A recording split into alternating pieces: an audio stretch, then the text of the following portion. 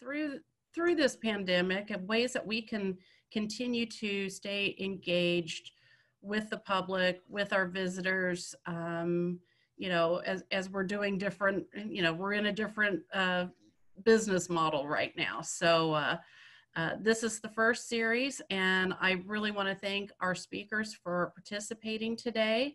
And we'll have uh, many more of these to come in the future, and I hope you'll be able to join us. So thank you. It. Excellent. Thank you. Thank you. Um, so today's topic is uh, who was Jane Blaffer Owen? And this is our first community, virtual community conversation of the summer. So keep an eye out uh, for our communications and our brand new e-newsletter that's getting ready to launch. If everything works out nice, it, will be uh, hitting the airwaves uh, next week. Um, but we will be recording this session and we will post it on our Historic New Harmony uh, playlist uh, on the um, USI YouTube channel. So we'll send an email out about that as well. Um, but with that said, let me go ahead and share my screen. This is meant to be a community conversation. And at the end of uh, the session, we will uh, have plenty of time for question and answer. So if you can, uh, you should be able to see my screen now. Um, so our distinguished uh, speakers today, we have Abigail Owen Pontez. She's the granddaughter of Jane Blaffer Owen. She's joining us from Houston. Uh, thank you so much, uh, Abigail, for being a part of this. Thank you. Con Connie Weinzapfel, she's the Director Emerita of Historic New Harmony. Um, Docey Lewis, artist, cultural entrepreneur, and Robert Lee Blaffer, board member and also a family member. And um, wrapping up the conversation for us today is author and editor Nancy Mangum McCaslin. Um, she worked directly with Miss Owen uh, for, uh, Mrs. Owen for quite some time on her book. So a little bit of background before we dive into the, uh, the guest speakers. So for those of you um, uh, who uh, hear the name Jane Blaffer Owen in New Harmony, um, uh, just again, I think I said it in as we uh, were communicating this meeting. You can't go to a dinner party without someone bringing up her wonderful name or talking about something that she accomplished or her influence. But the purpose of today is to really get to know her as a person. What drove her? Uh, who was she? What um, what made her angry? Sort of thing. But let's um, uh, or happy. But let's start off with just a little bit of biography. I don't want to assume everyone knows. Jane Blaffer Owen uh, was born in uh, Houston, Texas, and she was the daughter of Robert Lee Blaffer and Sarah Campbell Blaffer. Uh, she grew up traveling the world, and in 1933, she uh, graduated from the Ethel Walker School in Connecticut. She studied at Bryn Mawr, the Washington School of Diplomacy, and the Union Theological Seminary in New York. In 1941, she married New Harmony's own Kenneth Dale Owen, who is a geologist and a descendant of Robert Owen, uh, who was the founder uh, of the 1825 Owen Maclure community in New Harmony. Side note, um, 2021 is the 250th anniversary of Robert Owen's birth. Uh, so you're going to hear more from Historic New Harmony and from New Lanark on that coming uh, down the pike. Earlier in their marriage, uh, Kenneth uh, Owen introduced his bride to the town of his birth. Falling in love again, uh, Jane Owen adopted the town on the Wabash as her home and thus was, uh, was born a palate for her intelligence unfettered, and unfettered generosity. I have to underscore those two words for her intelligence and unfettered generosity. As we go through these conversations, you're going to see that demonstrated multiple times. Channeling, channeling, her philanthropic efforts, she established the Robert Lee Blaffer Foundation to preserve and promote the town's historical and educational attributes. Um, you're going to hear from Docey, who is on the board, and a few others, and uh, that the, the foundation is still alive and well, and still bringing incredible things to, to New Harmony and helping celebrate this space. Among numerous other New Harmony initiatives, she commissioned Philip Johnson to design the Roofless Church, she orchestrated the building of the Visitor Center, uh, Ar architect Richard Meier's Athenaeum, which just celebrated its 40th anniversary, envisioned a spiritual retreat and created the McLeod Barn Abbey, inspired and supported the restoration of the Rapp Owen Granary, and encouraged spiritual awakening through the cathedral labyrinth uh, that was built for meditation and prayer, and also was just beautifully re replanted. If you're not familiar with these, some of these buildings we just mentioned. For example, here's a, a photograph of the, the Rapp Owen Granary on Granary Street. Um, a beautiful shot of the Athenaeum, uh, which right now is not open. Uh, if everything works out uh, properly, the, the doors will open on Wednesday, uh, July 8th, uh, but tours won't actually, guided tours won't actually happen until the middle of, of uh, August. So more to come on that. But as of July, you, you'll be able to enter. The uh, cathedral labyrinth with the Athenaeum in the back, a beautiful shot. And of course, the golden gates going into the roofless church. So during her life, uh, Jane Owen was the recipient of numerous awards and recognition. Most notably, uh, she was named Commander of the British Empire by Queen Elizabeth II. Uh, she received the Louise DuPont Crowninshield Award presented by the National Trust for Historic Preservation and the Sachem Award, which was presented by uh, Governor Mitch Daniels to recognize a lifetime of excellence, virtue, uh, that brought credit and honor to the state of Indiana. Absolutely amazing. Aside from uh, all she accomplished in life, Jane's true legacy may be found in the faith she demonstrated, the friendship she forged, the beauty she created, the, the enthusiasm she espoused, and the simple way she lived. Um, just researching photographs for my quick overview there, uh, I, I, love the photograph of her at her gate and in front of Andy Warhol's Silver Clouds. Does that look familiar, Connie?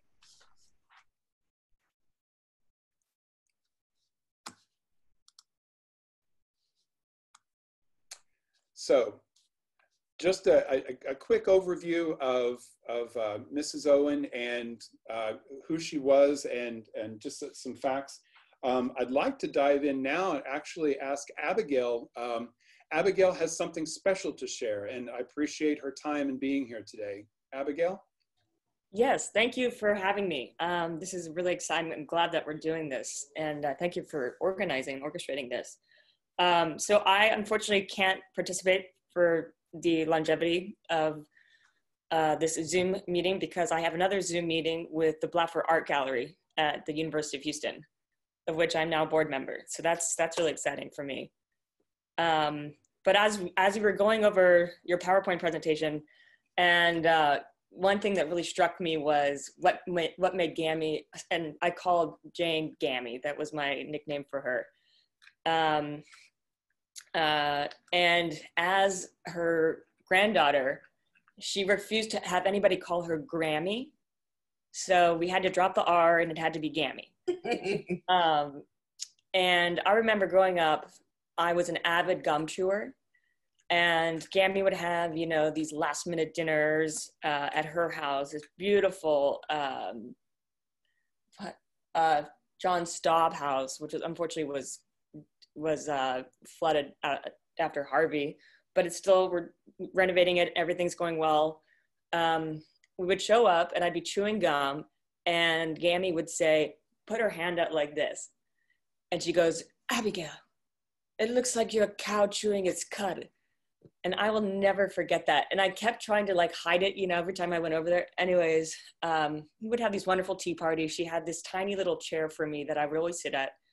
She taught me how to make vanilla ice cream. She taught me how to drive. I was driving her golf cart, the Bluebird, when I was five. Um, there's just many other extraordinary stories. Um, my mom and her two sisters, Carolyn and Janie, would always play pranks um, on my grandmother when she would have these, you know, extravagant parties on the front lawn. Um, but that being said, let me get to it. Um, so I found the eulogy um, that I wrote for my grandmother at my grandmother's for my grandmother's funeral. And um, some of you may have been there, some of you may not have, some of you may have heard this eulogy and maybe have forgotten it. But it kind of encapsulates um, what Gammy meant to me so without further, further ado, and also please forgive me if I start tearing up. Um, it was a very, oh my God, I'm already tearing up. It was very emotional. It's a very emotional piece. So here we go. Uh, the enigma, that is Jane Blaffer Owen, may never be defined, for there has never been a presence quite like her. From the way she could coordinate every inch of clothing from her wide brimmed hat to her mesh Merrell shoes, or how she continuously mistook the gender of my male friends. often complimenting them on their masculine femininity. Nonetheless, no one will ever forget your spirit and curiously disarming nature or the way you always managed to escape the discomfort of a sometimes awkward situation with that classic gammy oblivion. So I don't know if you guys know the Irish exit, the, the term you just kind of leave without saying goodbye to anyone. So my mom learned that from Gammy, and my mom, you know, if she didn't want to sit at the dinner table anymore after, you know, a dinner party, she would just go upstairs and get in bed. And you know, at the you know at the end of the dinner, where did Annie go? So Gammy kind of did that too. Uh, well, Gam, today you're not fooling anyone. Your grand exit from our lives will be just as cherished as your entrance. Where this passing is different because you will never leave our hearts. Never in my life have I met a person with such an indelible memory, unbridled wit, and fitting sarcasm. I will never forget the natural beauty generated by that subtle shift of your downward glance, or the quiet lines drawn by the corners of your delicate lips as you carefully lifted your cheeks to meet your downward stare. That side note, Gammy had the most recognizable mirror face I know, you know, I have one, my mom has one, but Gammy, she had the, she would like squint her eyes. Anyways, I'm just gonna try to add these little anecdotes. Um, my grandmother was a constellation of wisdom, insight, and love, shedding ebullience and selflessness to those fortunate enough to have wandered across her path. Her youthful vigor continues in all of us here today, unfurling goodwill and philanthropic reciprocation. Her inquisitive nature and boundless imagination still resonates deeply among family members, friends, friends, and strangers alike. How do I say goodbye to my childhood, my adolescent, and my adult paragon? Somehow you crafted a way to remain a formidable part of my upbringing. For that matter, you will forever be that fairy tale angel who came to life and wrote her very own story in the novel of my existence. Your influence is everlasting and will sustain as long as the sun still shines and the cherry blossoms bloom. I pledge to do I, I pledge to do my best as one of your grandchildren to alleviate the physical void resulting from your passing. I am comforted knowing I'm not alone in my quest, for you have touched a myriad of believers whose compassion and enlightenment you sowed. Together, we will move beyond the tangible gaps, certain we will never lose sight of your eternal spirit. May you remain a perennial flower in our past, present, and future. That's it. Absolutely stunning. Thank you. Thank you. I mean, she really did touch so many people's lives. And um, in more ways than one, and even if it wasn't palpable. Um, I mean, I look up, I think about her every single day, all the time, because there's little things. Um, she taught, I would go gardening with her, and um, I'm now known as the flower girl because I can pronounce scientific names and I can point out what flower is what. And every time I do that, I'm so proud of myself. But then I have to say, I mean, Gammy must be so proud of me too because I was actually listening to what she was saying. um, but but yeah, I mean, she's still she lives within us all. Um, Abigail, what, yeah. what are those words of wisdom that kind of reverberate in your brain daily beyond beyond chewing gum? Uh, chin up, chin up, and she would she would bring every Sunday. She would bring a Latin word of the day, and I was taking this is when I was taking Latin, and she would sit down and we would go over the etymology and and so whenever I, and I I got the not to brag but I got a Latin award at, at Kinkaid. And so people all my friends like automatically think I can you know I can speak Latin or read it you know uh, read it well. So whenever somebody asks me that I, I think of Gam and I think of her coming over every Sunday in her little hat and her de- her long denim dress which she always wore with her cross um, but chin up. Don't stare. Don't stare. um, and golly, there's so many. And uh, oopsie daisy. Kenneth, both Kenneth and and Gammy would always say oopsie daisy. I thought that, I mean, that, it was kind of fitting. Um, I say that sometimes and around my friends, and they go, "What?" And I said, "Oh yeah, Gammy used to use it." And all my friends knew Gam. They all knew her, and they all loved her. And I remember one day, one night, it was prom or something, and you know, we're getting dressed, and my friend Marion, who's beautiful, slender, she actually became a model.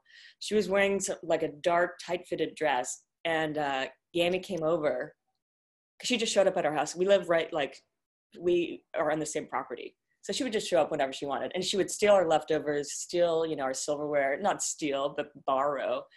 And uh, so she came over, she wanted to take pictures of us before we went to prom. And she takes one look at my girlfriend, Marion, and she goes, Ooh, you look like a vamp. and none of us had heard that. I mean, we were like 15, 16, and none of us had really heard that term but she was always very outspoken. I mean, when I say she she mistook my male friends as women, I wasn't joking. um, but she just she didn't she it wasn't it just kind of you know in one ear out the other. She just spoke her mind and honestly could quote. She was incredible. She was brilliant, brilliant. And when I say that, I mean I've I've talked to professors at Yale who knew my grandmother and they said she had I had nothing on her. She could recite an entire page from a, some random book. Um, but she just had this unending curiosity. And I just remember that uh, the the picture of her leaning up against her gate her gate um, is is is perfect. That was Gam. That was so, Gam.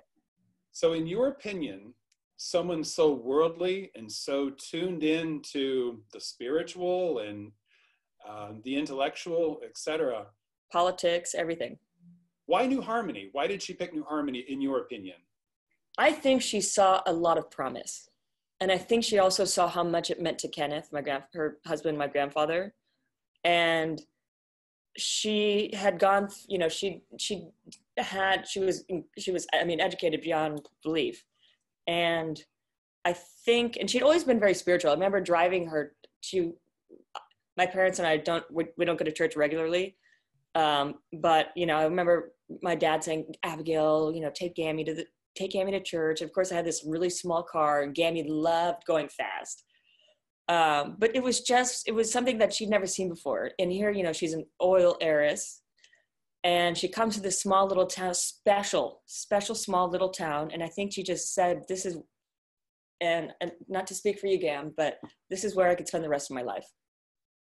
You know it was sacred. It was just a utopia for her. New harmony picked her too. Yeah, yeah. awesome. Abigail that I, I, I can't thank you enough for your time. Um, thank you and the stories and the insight. This is this is fantastic. Um, wonderful. And I'm uh, going to stay on as long as I can. Maybe I want to hear as, as, as much from this other speakers as possible, but forgive me for uh, if I have to leave early. I appreciate your time. And I look forward to seeing you in person soon, hopefully yes. in June. Me too. So thank you. Thank you. Um, next is uh, Connie Weinzapfel. So Connie, uh, I know you you worked with Mrs. Owen. You were friends um, from a historic New Harmony perspective. You tackled projects, you tackled concepts, and traveled the United States with her. Um, what what do you think? What do you think Mrs. Owen would say about New Harmony in 2020? Um, I thought about that. I, I first I want to say that I had such a lovely couple of hours last night remembering things, remembering funny things. Um, so thank you for doing this.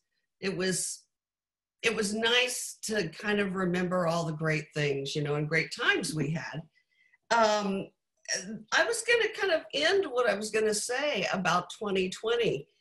You know, people have this perception there aren't any kids here. We've got to bring more young people here. We need more kids. There are kids everywhere. And uh, kind of, I think the the great thing that's happened with our our COVID 19 sequestering is that people, families have gotten out and walked and you know, ride bikes. And there are kids in the houses all around me. And that would thrill her. You know, that we, we talked about that forever. That would thrill her. You know, we, we had this belief that New Harmony was going to go on forever. Things would come and go, stores would come and go, people would come and go, but it was going on forever. And I, I feel that way more now than I have for years and years, really. So she'd be thrilled. She would be really thrilled, I think. Um, I want to respond to Abigail's beautiful eulogy. You know, my first thought about her was she was a seeker of beauty, certainly in art, architecture, horticulture, you know, in the physical environment. Um, but she was also a seeker of spirituality. And I think she responded to New Harmony's history. I think that's where it started. She told me that her father, Robert Lee Blaffer, knew of Owen's work. You know, he's an oil guy down in Texas, but he knew about Robert Owen's work and how Robert Owen treated his workers and how he was interested in the improvement of his workers. And she said she remembers being, you know, a young person, teenager in her early 20s, having discussions with her father about that. I mean, long before she knew Kenneth Dale Owen. So there were uh, connections all along the way that I think led her to this place. And, you know, we're all so glad. You know, it's been uh, in about 10 days, it will be 10 years since she passed. Um, and that that gives one pause to think that her spirit is still so alive here even 10 years later. Um, she really had a vision for a better world.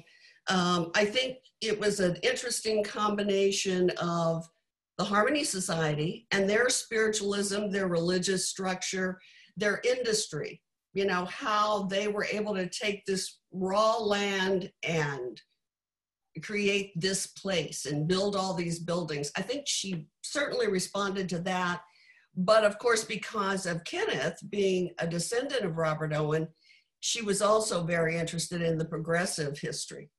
And she herself was a, was a very progressive person. I can tell you there were a few times over the years um, where it was hard for her. She was interested in uh, bringing religions together and using New Harmony as a place to do that. That wasn't easy. You know, that was not always easy. She used to call herself an ecumaniac. Um, you know, but it was that idea, particularly of the Abrahamic traditions, you know, Judaism, Islam, and Christianity. So she was interested in where those things merged. And she used New Harmony as a place to help that happen, creating a beautiful place where people could feel inspired, um, but it, I remember a couple of times I started working um, at the Contemporary Gallery in 1985. And very early on, one of those early years, she brought in a group of uh, Buddhists. And they were, I don't know, they were probably out chanting in one of the gardens or something. And it upset uh, people in the community. And they picketed in, in front of the the conference center in the hotel. I mean, you know, that must have been her in some ways, but she persevered, you know, she persevered. In the moment we have right now, I remember, I can't remember which birthday it was for Kenneth, but she brought in um, a black opera singer to do a, a performance for his birthday. I mean, stuff like that didn't happen, you know, stuff like that didn't happen in Evansville or she was brave, you know, she was brave and she had an incredible way of bringing people together.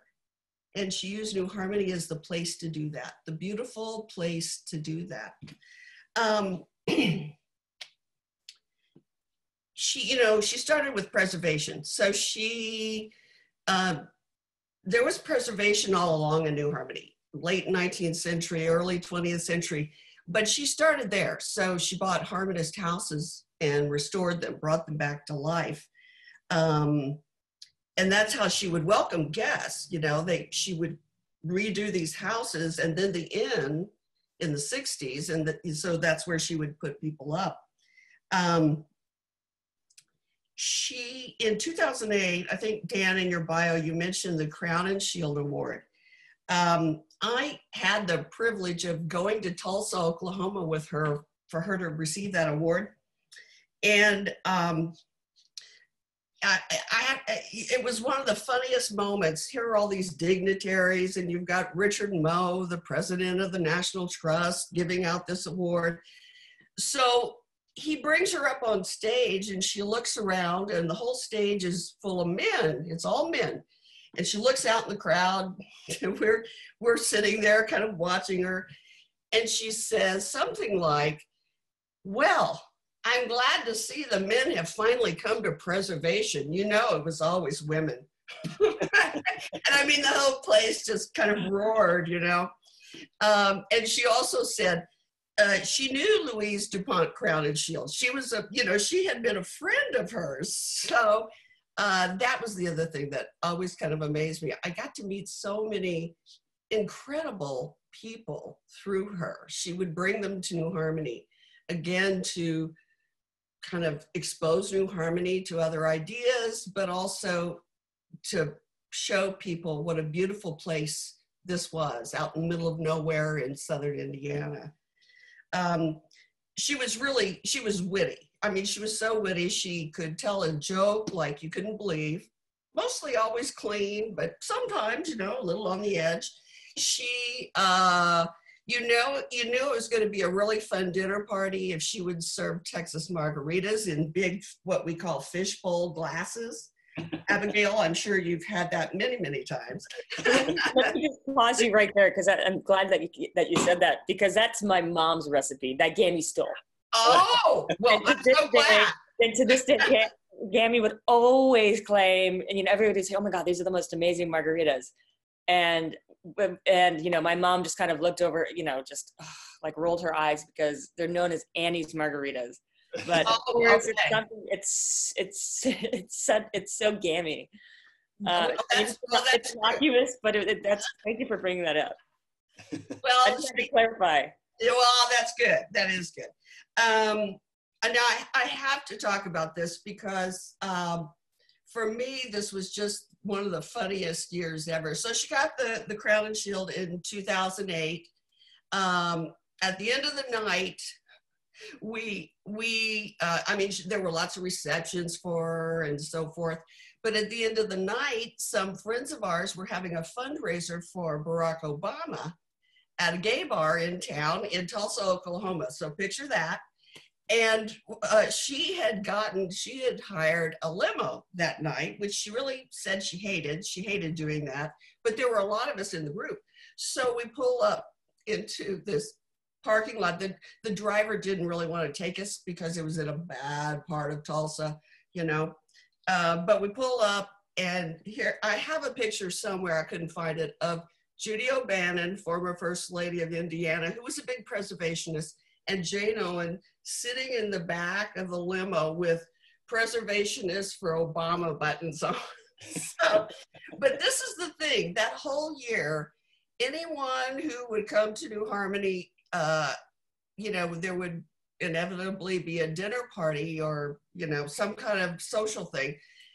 And she got to where she would ask every person who was a guest at dinner who they were going to vote for and what they thought about it. So at some point, I started kind of warning people. If I knew them and I could, you know, feel comfortable calling them ahead of time, I'd say, now, there's going to be a moment sometime, you know, during this dinner where she's going to ask you who you're going to vote for. Um, I also have to say, she came to my house. I had a few friends over to my house to watch the inauguration of Barack Obama, and she came and stayed the whole time. And you know, that was tough for her. That was that was tough for her. She was so excited, so genuinely excited, and saw that as a moment of real progress for the United States. So that was a wonderful memory. Um, I don't know how I'm doing on time. Um, she got lots of awards. You mentioned the Sachem Award. You know, she didn't really care about the awards for herself. She saw everything like that as a way to promote New Harmony. I mean, everything. She, we would talk about it. You know, she'd say, "Oh, I really," but but just think how many how many people will be there and how we can get the name of new harmony. She was a promoter par excellence in every way. Um, she wanted everyone to share in this idea of how how beautiful this place is physically and spiritually. That was really it. So connie and uh, i've heard you say this before. Um, in many ways, I mean, we, we still have connect points to sophistication and and um, goings on in the world and, and what and to culture, but she was a direct line, and she made that direct line to New Harmony, whether it was uh, you know a crowd or a reception at an award or traveling personally. Um, or bringing in a black opera singer. She was a direct line to sophistication and culture for this this town. Absolutely, she was, um, and a pioneer in many ways.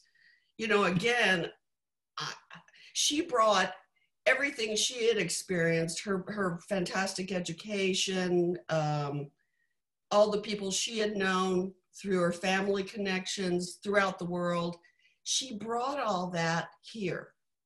So, in some ways, her era, her contribution was just as radical as the Harmony Society and the Owen community.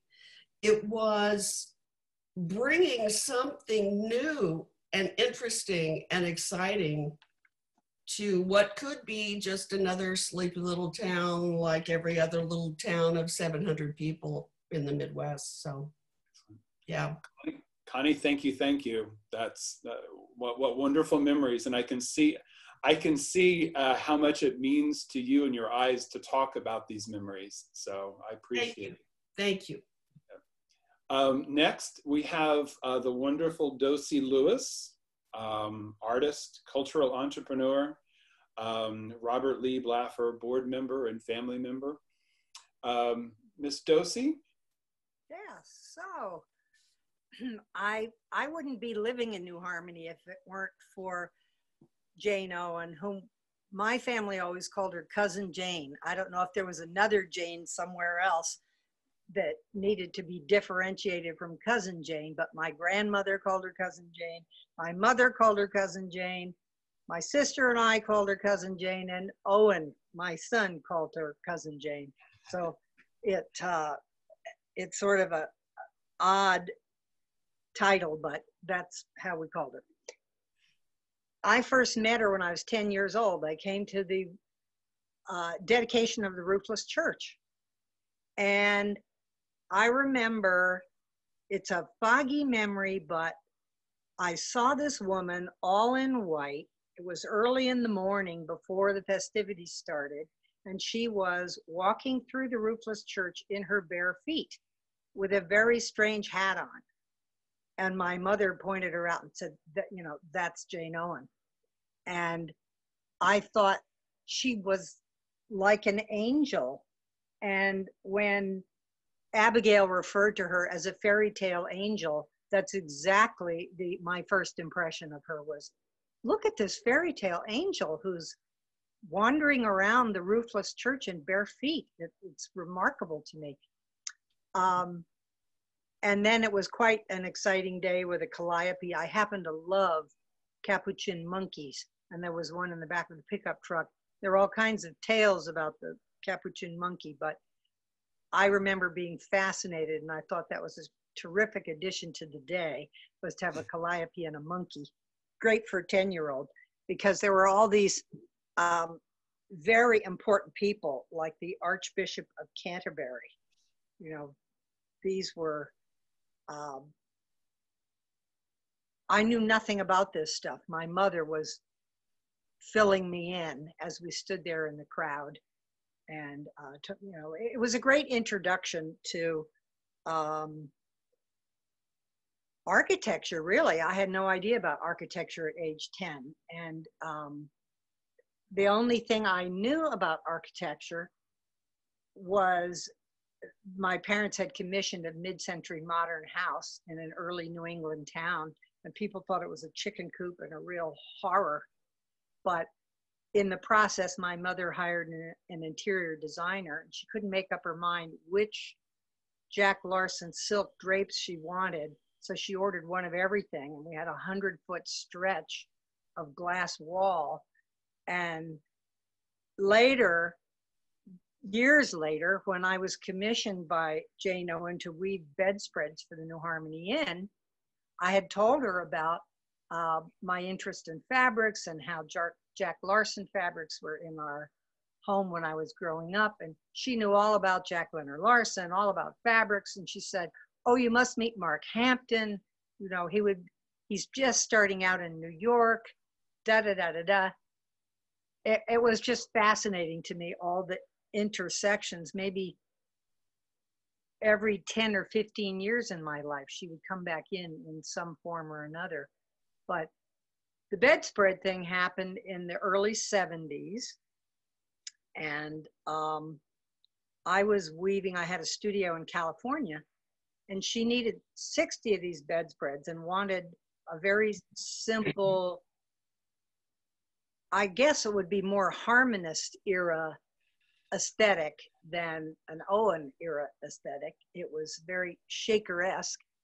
And I, I came up with a pattern that uh, it's a traditional pattern called the monk's belt. And she loved that idea, the monk's belt. So I did a monk's belt pattern and then I I had some friends who had just set up a spinning mill, so we commissioned the wool to be spun from merino sheep. And merino sheep were some of the first sheep that were bred brought to New Harmony during the Harmonist era, and um, and so she loved that tie-in that we had merino wool. And I ended up there was so much yardage that needed to be woven. I got lots of weavers up and down the California coast to work with me on this commission. And then we had to, our looms weren't wide enough, so we had to hand sew all the bedspreads together. Fast forward 35 years or so. And there was one bedspread left over at the gatehouse. I recognized it when, once I had moved here. And it had been through a washer and dryer. And I asked her what happened. I wove them extra long because I was afraid they would shrink someday. And lo and behold, they had shrunk um, but they were still they still fit a bed and it was the last remaining bedspread out of 60 of them and um, it was in the gatehouse and I, I i i guess i should go find it again and see if it's still there. In any case um, that was a really interesting time for a lot of artists and craftsmen whom i later came to to know about.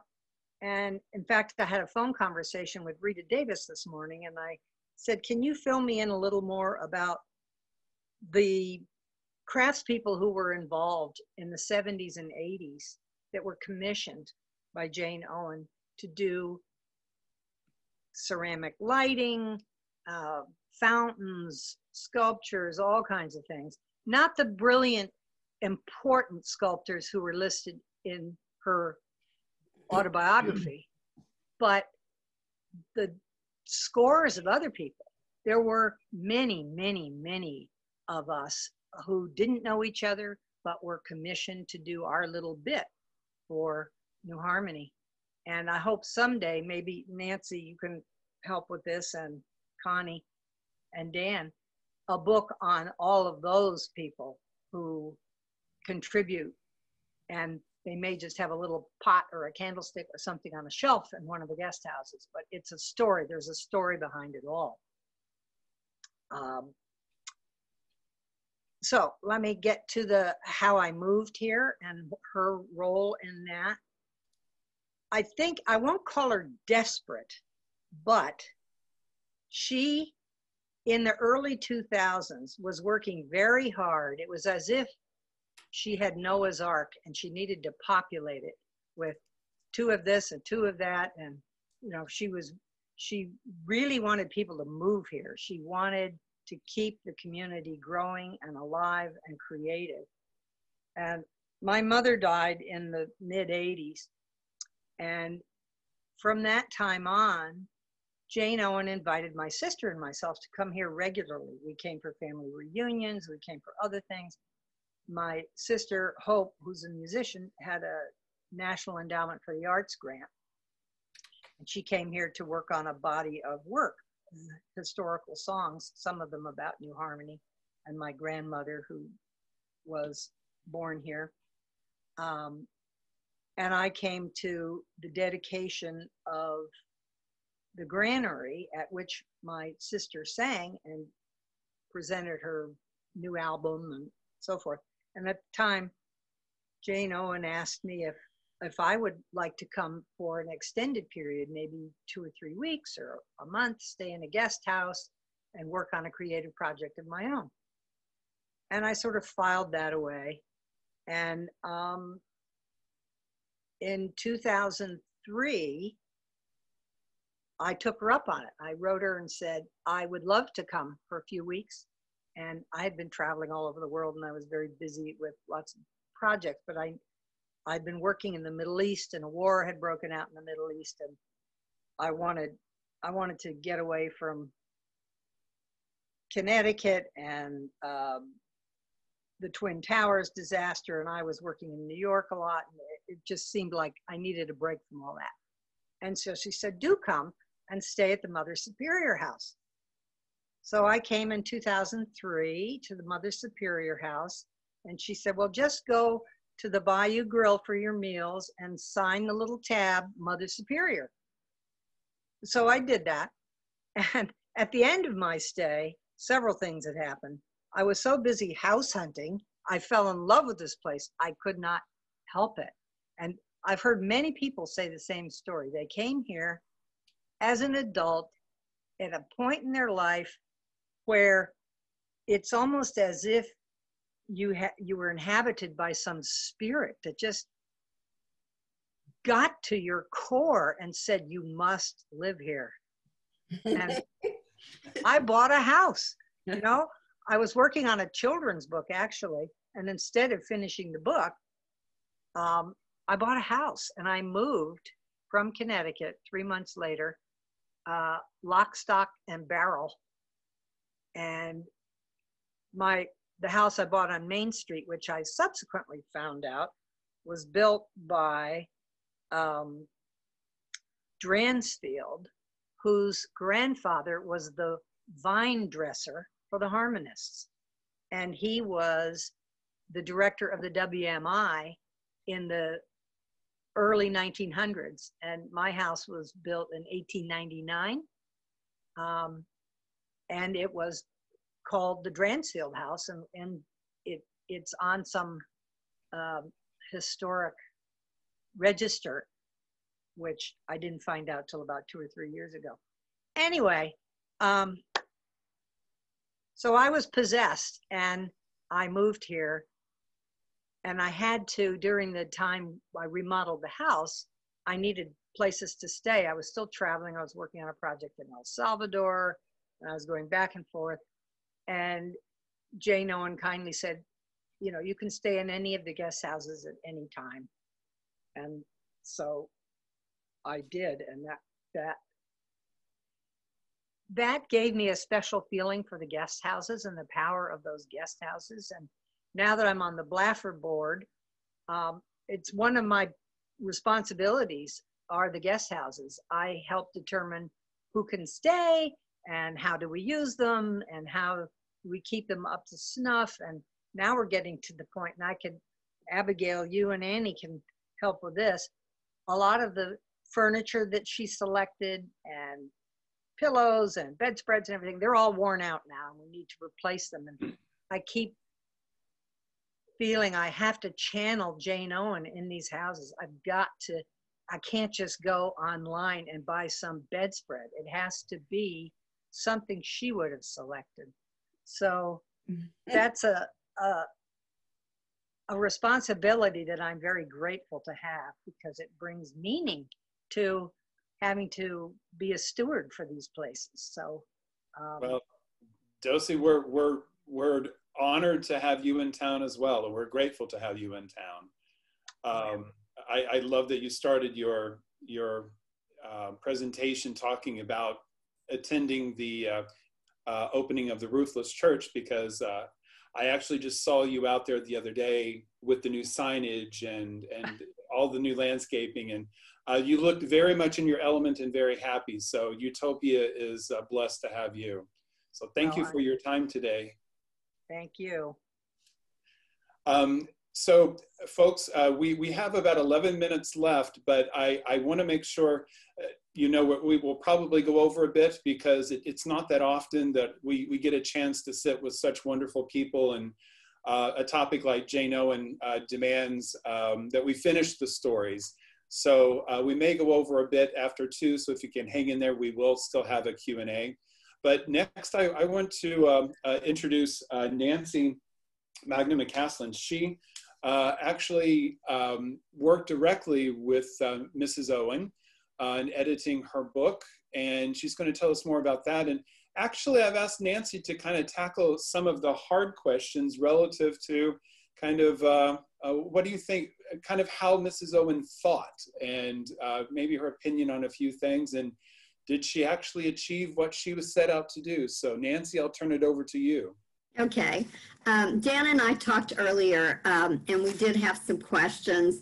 One uh, was touched on a little bit by Connie, too, is um, what drove her? What kind of was her um, motivation? And um, really, her, her, her, she had such a strong upbringing in the Episcopal Church here, uh, Christ Church Cathedral, uh, in the you know turn of the century, uh, all the way up until the 1930s um, she she developed a very strong sympathy and appreciation for people of of different faiths, and at a time much earlier um, than was mainstream, she um, really devoted herself to ecumenism. And initially, it was the different denominations, and then she expanded it, which was very unique to other faiths and how we could keep the conversation going. Um, she was not someone who uh, believed, um, you know, that we should just mishmash everything together. She really liked distinctness and she liked to applaud the distinctness, whether it was a faith expression, whether it was something cultural. She really wanted us to identify and respond. And I think that's why she chose so many different artists, both the quote unquote renowned ones and the ones that Docey just mentioned is um, just this great love for people, their perspective, their insight, their culture, and how we could all benefit from uh, witnessing that. I want to go on a little mini tangent just because this is a, this is something that most people don't know a lot about. When we would work on the book, uh, I would always go to her house and I remember now, normally, whenever I edit, and, and I, I came to her through a, a, mutual friend, the Dean of the Honors College at University of Houston, and Ted Estess, and we were, we had finished a book. She had read the book um, that Ted wrote, and um, she handed him her manuscript and said, um, Here, I want this published. And he read it, and he said, Well, you need a good editor. And she said, Where do I find one? And he said, Well, if you liked my book, I could put you in touch with Nancy McCaslin, but she's very busy. So, um, you know, I'll get back with you. So he hangs the phone down and he, he, you know, I just get this random call from Jane Blaffer Owen saying, Hello, Nancy. And I said, Yes. She says, This is Jane, dear. And I'm thinking, okay, now which Jane? Who could this be? And it says, You're going to become my editor, and I just need you to come over on Sunday for lunch. and I have no idea who this Jane is, you know, where she lives or anything. Bye bye till then, dear. And she hangs up. And then Ted calls me and says, she just called you, didn't she? And I said, I'm assuming this is Jane Blaffer Owen because I had met her at the University of Houston at uh, at several events together. And uh, so we go and we would sit and work on um, in her dining room, very long, beautiful uh, dining room table. And she had two lovely portraits uh, of her mother, Sarah Campbell Blaffer. Um, one huge, took up a wall, very formal, um, and then a very whimsical one of her mother in her youth, and that was her favorite. And there is even a small little um, photograph of that in uh, Orchard House of her with her mother's hair kind of uh, bounding out. Um, so one of Dan's questions for me was what inspired her. And in all of our talks, I think the thing that inspired her most or the person was her mother, Sarah Campbell Blaffer. Um, Sarah um, Campbell Blaffer when she um, you know was first married and raising children even even though she had wealth of her own and her and her husband um, did robert lee blaffer uh, she she did a lot of um, commissioning of portraits. She very much loved portraiture. And um, then she began collecting. And um, she was very unique in that most women in her social class and position did collecting for themselves. A good example of that initially would be um, uh, Dominique de Menil here in Houston. And um, then the other thing that, that women of that social distinction do is name wings after themselves or museums and um, then gift their collections. But very actively, um, Sarah Campbell Blaffer did something unique.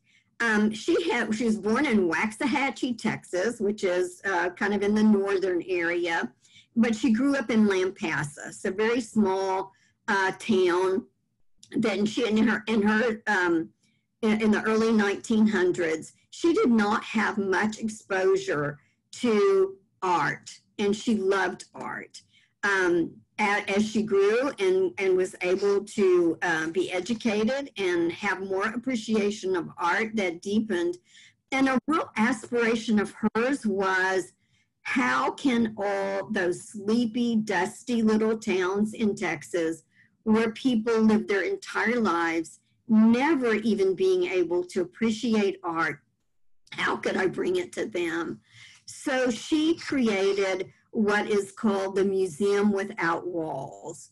And it toured, and um, all of these great old master works would just go to really podunk. Um, and, and there would be beautiful letters that would come back that um, that what ultimately became her foundation. But but early on, uh, the, the directors of this um, museum without walls um, of people just so deeply moved. One woman, uh, Jane said, had written that her, her life was changed after actually being able to see one of these great masters that she'd only seen in a little tiny square in a book. You know, we take it for granted with all of our resources um, that that we have. So for for Jane, and sometimes um, uh, in, in, in different books and, and in the one that I worked for, which was uh, devoted to her architecture, uh, uh, commissioning of architecture um, and landscape and preservation, um, I would get asked by um, architects, well, wasn't she just really uh, a rich woman and New Harmony was her project? Um, but no, I don't think so. because um, she was not um, thinking of New Harmony as a clean palette that she could then paint uh, herself and her um, attitudes onto. She really felt like she was part in history of her time, that she needed to make that relevant just as the harmonists made their time relevant and the Owen Maclure community had made their time relevant and the little women who were devoted to saving New Harmony's history when she came as a young bride in the 40s, um, she had to do her part in um, envisioning and moving New Harmony forward. Um, she was in love with the people of New Harmony, and and she's sometimes people will say um, she saved New Harmony, and she would correct them and say, "No, New Harmony saved me." Um, you had asked earlier why New Harmony. She did um, have an appreciation of it from um, from her father because she was exposed to his uh, works very early, uh, his writings, but also she had a deep appreciation, like her mother, for this town in which people were maybe not exposed and didn't have access to great opera, to ballet, to um, art, sculpture, all of these things. And so, whatever she did, she would, if she invited someone to, to be here in Houston, she would also have them make a stop in New Harmony. Um, she could have picked another town, and that town would have been her mother's hometown of Lampasas. Family still lived there, uh, Campbell as do, but that was taken care of. There, there were, there were um, Campbell's already there. She also had um, you know, other places that she could have taken care of. Houston would have been a primary place. Um, but she said she circled the Museum of Fine Arts, looked at the automobiles, and said, Houston's taken care of. And, and her thought was kind of based on that uh, religious upbringing uh, in the Episcopal Church that to whom much, is given, much is, is entrusted, and that she had to give back. And giving back to New Harmony um, would be significant because its history was so important to all of America, not just the, the state of Indiana, um, that being able to give back to New Harmony um, would be the most meaningful. She, she could really, she felt, make a difference there.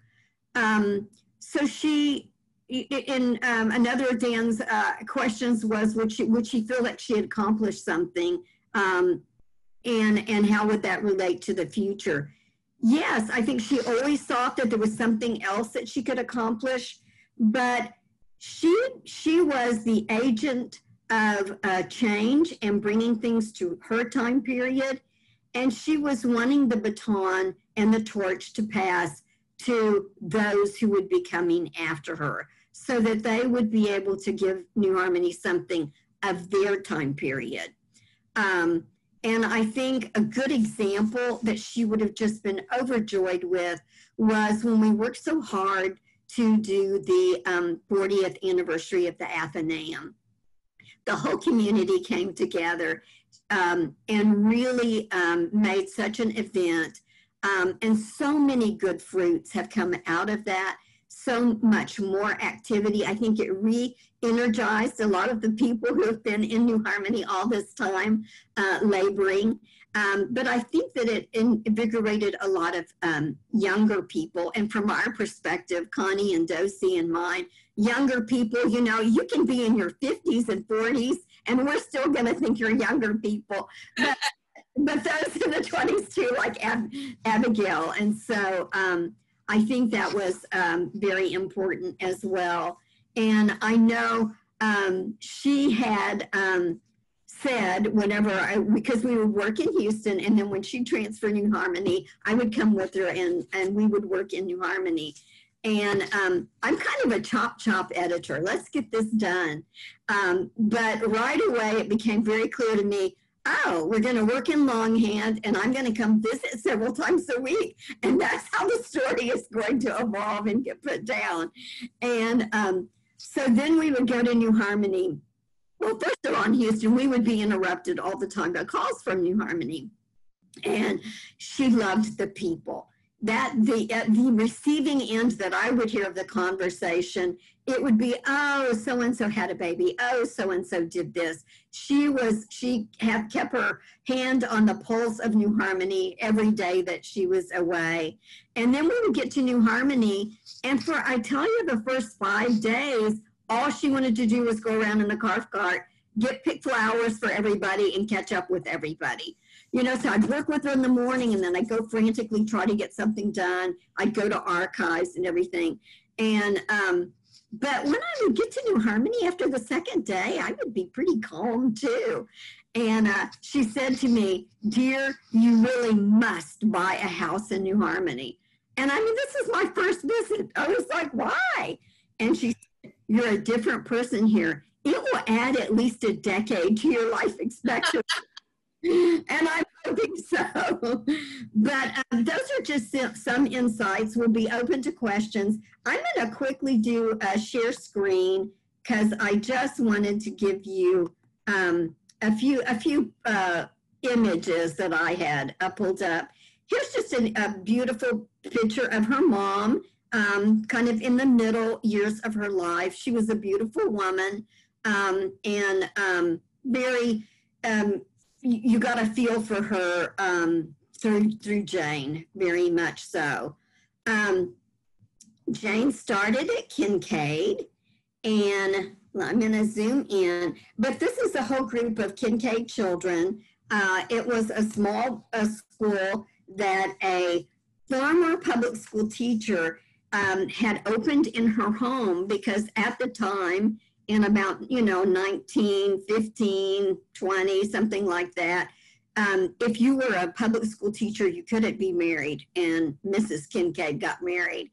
So she opened a school in her home that then expanded. They're getting ready for a, a drama performance at Miller Outdoor Theater. And Jane is, come on. Now, is it going to let me? Sorry, let me back it up a little. There she is right here.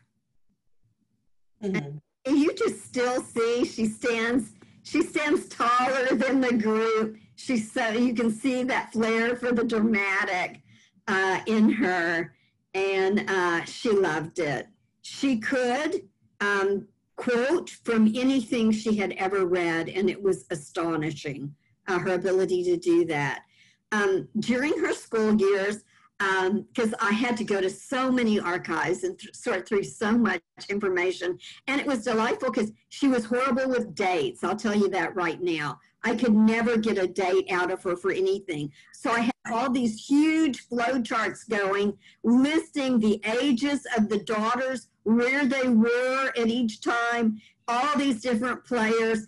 And so I would bring her something, and I was really trying to pinpoint when she commissioned the Roofless Church. I felt that was an essential a date that we had to have.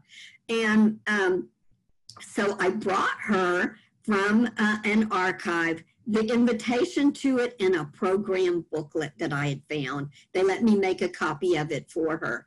And I brought it, and she, that just triggered it all Oh, I remember she knew who was there, what she had done. I started cross checking with Philip Johnson's archives and all of this and was able to do it because she had such a phenomenal pictorial um, memory. Um, and then if I mentioned, all right, I need to know this date, and you know, Carol was in San Francisco and Janie was here and this was happening, she would be able to just go straight there. She could even tell me the garment that she wore and the hat. I mean, because it would, she would get that visual picture that I was able to confirm. But she laughed at this, and I did find an awkward adolescent picture of her, and she would she would not mind at all that I give it but I like it because even though she's still in a little bit of an awkward stage, um, you can see that contemplative state, you know, the where she um, is thinking and pondering the, these big questions, um, which she always was.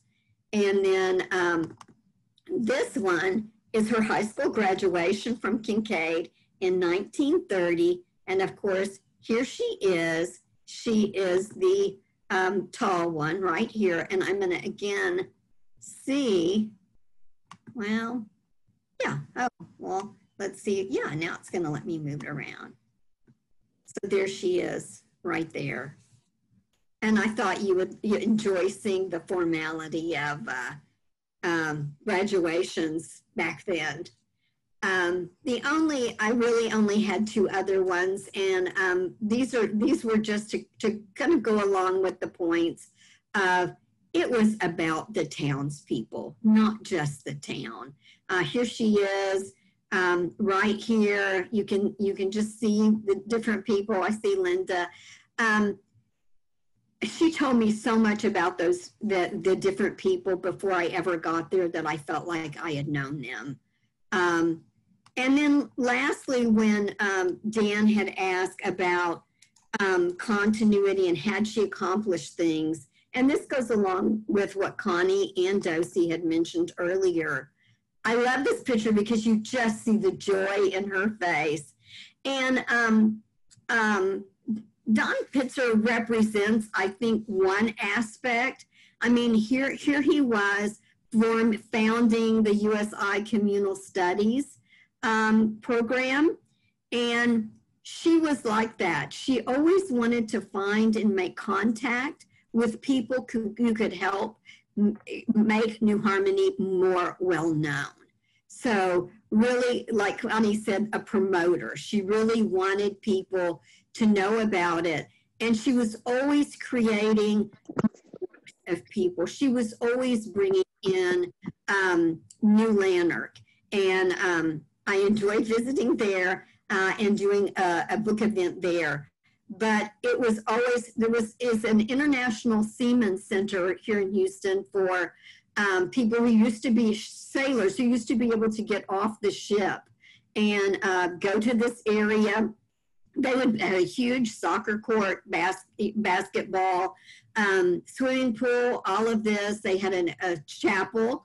And um, if you look at it, and I asked her about it because it was like right out of the 1960s, it was right out of the time period that she was doing furnishings for the New Harmony Inn because the same chairs were in there and uh, all of this. There's a little plaque there um, about New uh, about New Lanark in the Seamen's Museum, um, not museum, but um, visitor center. Unfortunately, after 9 11, they had to close it because in ports, they no longer allow the sailors to be able to leave um, and, and go offshore. So uh, that's just one of those. But she was always linking everything together and um, really making it um, all interconnected uh, she felt like if we knew everything about everyone else, we could support their causes. And if people knew about New Harmony, they would be willing to unite with us and support ours. And that's all I have. And so, either Claire or Dan, you can take it from here. Oh, Nancy, that was fantastic. Thank you. Thank you, thank you. Um, I know we're I know we're a, a, bit over time. I appreciate everyone hanging in there. We, such wonderful stories, and really, I hope you've you've gained uh, a better understanding of Mrs. Owen as a person, as a leader, as uh, just um, as a visionary. Um, are there? I, I know been, we've been answering questions um, through the chat. Um, one of the we've gotten this a couple of times, Docey. Apparently, there is a new bronzed hat in Carol's garden. Um, will there, which is absolutely beautiful, I've seen it, will there be a ceremony about or? Well, we were planning to have the ceremony May 9th and it had to be postponed. Uh, it is likely that we'll either reschedule it for November or next spring. Next spring during, well, it'd be great to have it this year because it's the 10th anniversary of her death. But okay. That hat is a Mr. John hat he was one of the most famous yes. hat designers.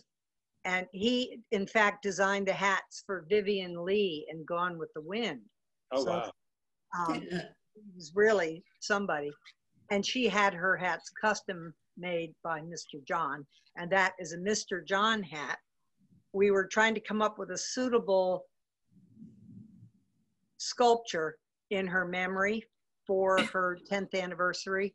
And I I felt that the hat would really be a good way to go. So I suggested a hat, and Abigail and Annie went rummaging through the closets to see what they could find and found this perfect, rather worn out. You can even see it we had it cast up in Indianapolis and put in the garden. And at night, it's sublime. The light shines on it. And those who know who Mrs. Owen was and knew how much she loved her hats um, will.